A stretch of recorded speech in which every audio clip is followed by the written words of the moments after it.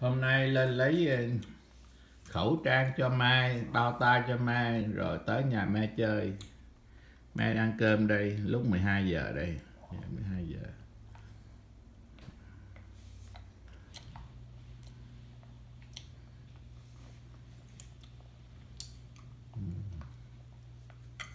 Thôi cho mấy người coi chút xíu thôi. Lát cho mày uống cái này sợ uống cái này đi cầu.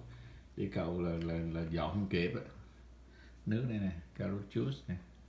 Mỗi lần lên lên là cho mày uống chút nửa bình. Cũng gần nửa bình này nè.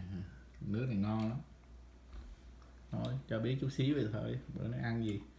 Bánh. Ăn khoai.